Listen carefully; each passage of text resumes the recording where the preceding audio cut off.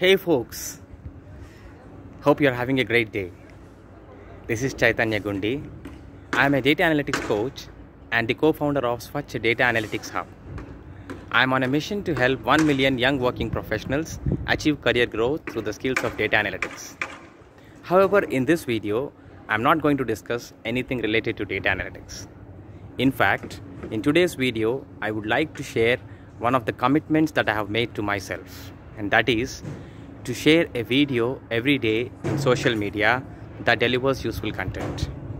The inspiration for this has been one of the videos posted by my mentor Siddharth Rajsekar. Siddharth Rajsekar, aka Sidz, is one of the most inspiring persons I have ever met, and he is currently one of my mentors. So, if you are interested in watching the video which shares 11 communication hacks that can help anyone improve their communication skills, I have posted the link for the video in this post. So go, watch the video, get inspired, and when you come back, I would be glad if you can share some of your key takeaways from that video in the comments below this post. Before signing off, let me share some of the key takeaways that have inspired me from that video. The first key takeaway is to commit to a challenge so big that it can push us past our fears and towards the path of success. And that is what I have made in this video that I will commit to create videos containing useful content and share it on social media straight for the next 90 days. The next key takeaway, especially for me, is not to focus on perfectionism because Siddharth says perfectionism is nothing but procrastination. We are all imperfect in one way or the other, and we need to be comfortable in our imperfections.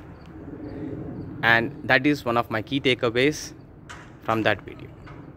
The third key takeaway, which I feel is very useful, is that we need to absorb and immerse ourselves in our mentor's content. We need to put significant hours in reading, in watching the videos, and learning from the videos of our mentors in terms of their body language, mannerisms, the content delivery, and other key skills of communications.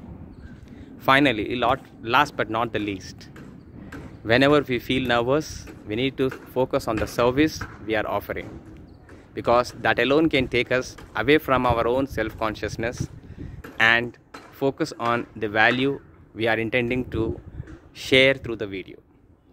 So, guys, I encourage you all once again to watch the video and comment below what are the key takeaways that you can take from that video. Thank you.